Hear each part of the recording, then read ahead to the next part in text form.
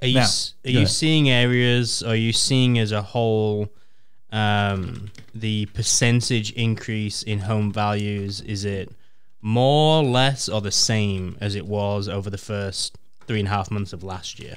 So, so far this year, it's more. Home values have gone up faster than they went up at the same time last year. Now, again, last week, week and a half, we're hearing a lot of talk about this, but we are not yet seeing it reflected on contracts.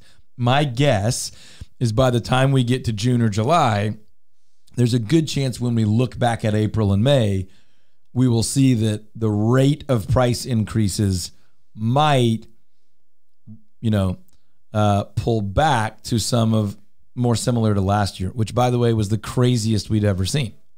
Right? So we're not talking about home price appreciation dipping to flat. That's we're not even in, anywhere near there. But last year we saw home values go up 21 or 22 percent on the year. Right. And it didn't happen perfectly evenly, right? There were some pockets where it was going up like two or three percent per month. Well, that's exactly what was happening pretty much the entire first quarter. After about the second week of the year, through pretty much right now, at least it may continue. We've seen uh, a consistent run of the most extreme home price appreciation we've ever seen. Pretty much since we came out of the quote unquote holiday season in the second or third week of January. So that has not changed yet. But we are hearing from buyers and hearing from sellers that sellers are a little bit more likely to say, I think I'm going to get my house on the market before this run is over. And buyers are saying, man, if rates keep going up, I am going to buy right now. And if that population of people gets the job done in the next month or two, then that's where we might see the population of buyers shrink a bit, where the folks that were motivated by higher rates have done what they want to do.